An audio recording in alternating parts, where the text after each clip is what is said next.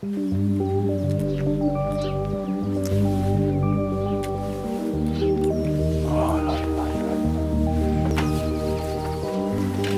bien de faire l'exercice. Oh maman. Faire un enfant, faut faire l'exercice. Mais non, mais tu dois tout commenter comme ça Maman, c'est une place. Suzanne C'est une place handicapée Est-ce que tu peux me passer la passoire, maman? Oui. La passoire. Tu trouves pas que elle était un peu bizarre ta mère Elle est toujours bizarre, ma mère. Qu'est-ce que t'as en ce moment? C'est quoi le problème, maman? Chaque fois que je suis inquiète, j'étais allée foutre le nez dans, dans- dans tes affaires. Elle est déclarée en retraite de toute activité depuis deux ans. Mais qui a fait ça? C'est Ouais. fort. Mais c'est vous, c'est madame qui a fait ça. C'est madame. C'est madame. Canard, belette, lapin, renard. Fourdi.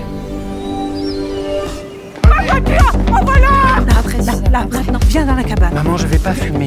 Non, non, non. La maladie, elle va pas se stabiliser. Mais on va pas avoir un enfant maintenant, c'est le bordel. Mais c'est tout le temps le bordel. La vie, c'est le bordel. Mais madame, vous êtes dans ma voiture? Bonjour, monsieur. Mais qu'est-ce que vous Ah. faites là? Ah bah, je fume, monsieur.